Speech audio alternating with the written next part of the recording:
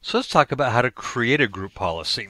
So group policies don't get associated with groups, they get as associated with organizational units. So let's start by looking in, let's go to Tools, Active Directory, Users, and Computers.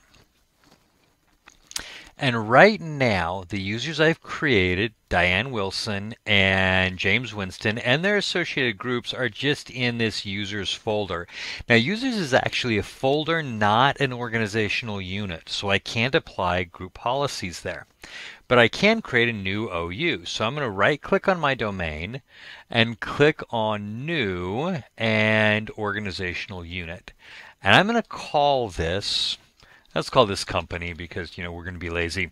And then this protect from accidental deletion, if you uncheck that, you can delete it and it will delete everything inside of it. So normally let's go ahead and keep that. And now we have a new OU called company. You'll notice the icon here is a little bit different. So now I want to move my users, Diane Wilson and James Winston. I just hit my control key to select the second one. I'm going to click and drag them into company. Moving objects can, yeah, we know. All right, so now they are in my company folder. Now for convenience sake, I'm going to go ahead and take my groups, management, management access, production, and production access, and I'm also going to move those into company. Now sometimes I'll create a separate OU just for groups. But if I can keep users pretty much the default users, it just makes it a little bit easier for me to find things. So now all of my stuff is in the company OU. Now that it's there, I can apply a group policy to that company OU, and it will affect everything that's here. Now, groups really don't count, but remember group policies are broken up into two pieces, users and computers. The only thing in my company OU is users. So any changes I make to a group policy that's associated with company needs to impact users, not computers. Computers would actually go here under the computers folder, or I can create my own, you know, company users, company computers as well. So let me close out of here, and we're going to open up group policy. So we're going to find our group policy management. And our group policy management console will expand our forest. We will expand our domains and we'll look at our uh, expand our domains. There we go. And here we're going to see company. Now, if we expand company, uh, there's nothing there. If we expand domain controllers, there we're going to see a domain controllers policy. Now I can create, remember group policies actually reside here in the group policy objects. And I can do this one of two ways. I can right click here and create a new group policy. And then I can link that group policy later to company. You can do that using uh, right click and you can uh, go to properties and you can enable and link your group policies. And the other way to do it is to right click on company and say create a GPO in this domain and link it here.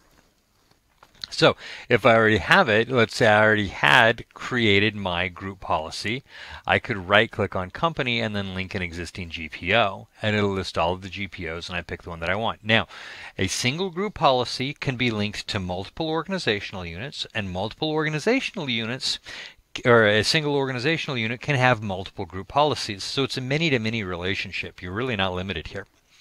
Well, I'm going to do this the lazy way, and I'm going to right click on company and say create a new GPO and link it here. And I'm just going to call this restrictions because I can.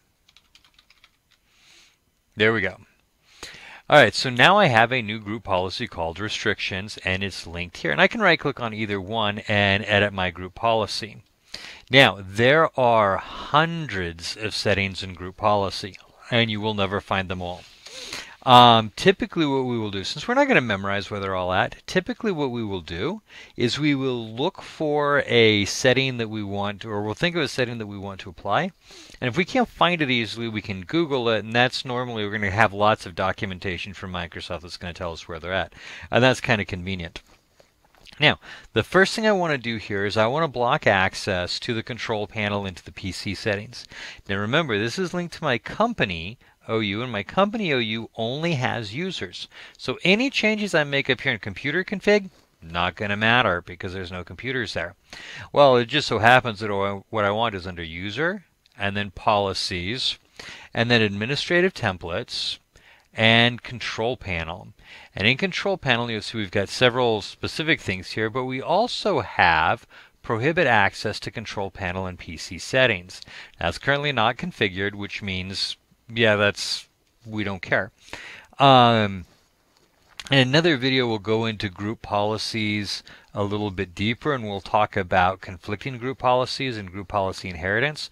But for the moment, since this is our first look at it, we're going to keep it fairly straightforward. So I'm going to open up prohibit access and I'm going to choose enabled. And down here, it's going to tell you more about it. Um, so I can choose to enable or disable.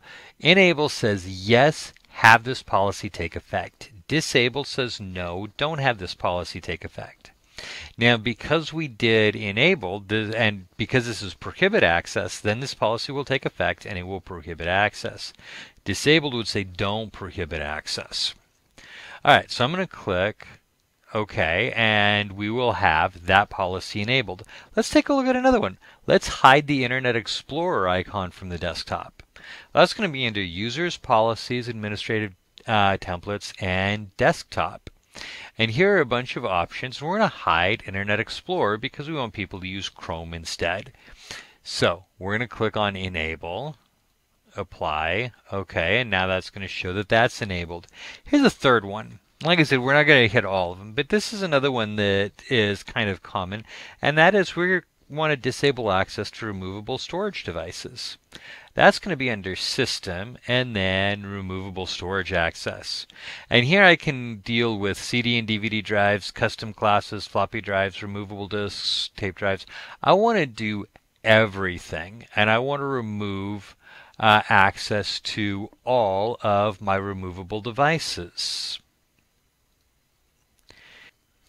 So if we're going to stop access to everything, what we want to do is this removable disks. And we've got three different things here. Removable disk deny access, removable disk deny access. But this is the one we really want all removable storage access, uh, classes deny all access. And that's going to take everything out USB drives, floppy drives, flash drives, no removable storage, which means it's going to be harder for people to A, bring in viruses on removable storage devices, and B, uh, to take company data and possibly lose uh, control of it. So we're going to open that up and we're going to choose enabled, apply, OK. All right, so now we've set all of our policies. And these policies, because they're linked here to in or because they're in restrictions and linked to company, any users that's in that company OU is also going to have those policies. Now, also, you can put OUs inside of OUs. Like right here, the domain is the ultimate OU. And these are OUs inside of that OU. And so I could add other ones under company. I could add, you know, OUs for different departments. Anything I put at company is going to impact all the users in it and all the users in any OUs that could potentially be underneath it. So, um, when you're plotting out your group policy options, you want to a think about what you're trying to do. Odds are you can probably, if you can imagine it, you can probably do it in group policy. Um, Google it to find out where it is if you can't find it right away, and then think about who you want it to impact because you're going to put it in those OUs and remember that OUs are going to inherit settings all the way down. Now there are some other issues that we'll deal with in a later class uh, with group policy inheritance. For the moment, don't stress out about that too much. Uh, we'll keep our group policies simple for the moment until we get to more complex network infrastructures. Okay, so that is your basic introduction to creating and working with group policies.